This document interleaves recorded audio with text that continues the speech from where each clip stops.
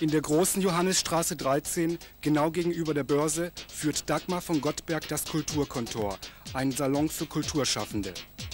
Dagmar von Gottberg vermittelt Kontakte zwischen der Wirtschaft und dem kreativen Potenzial unserer Stadt.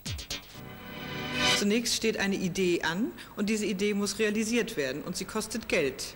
Und Kultur möchte ich in unserem heutigen Wirtschaftssystem genauso bewerten wie eine Dienstleistung. Was sind die Interessen eines Unternehmers für Kunst Geld auszugeben? Langfristig möchte er damit das Image seines Unternehmens zumindest aufpolieren.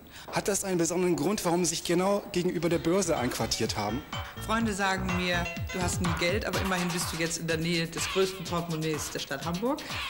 Auf der anderen Seite möchten wir auch ein Signal setzen, dass die Kultur genauso ins Zentrum gehört. In der Wirtschaft und der Industrie gibt es Kartelle. Gibt es sowas auch im Kulturbereich? Ja, die haben es erfunden. Frau von Gottberg, bei Ihren vielen Aktivitäten, finden Sie da eigentlich noch Zeit für Urlaub? Also Urlaub ist genau der Besuch in einem guten Atelier, einen guten Film sehen, also mit Künstlern reden, das ist mein Urlaub.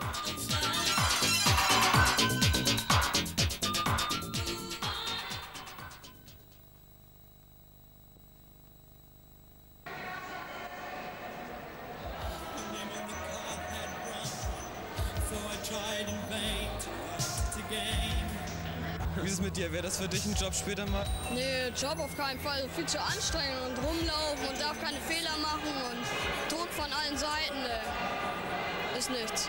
Und Lust später mal hier zu arbeiten? Oh, bloß nicht. So ein spannender Job, findest du nicht?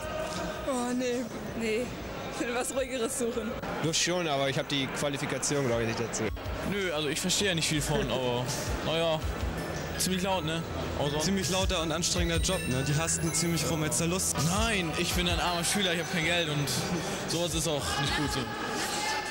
Ja, bei dem Geschrei, also.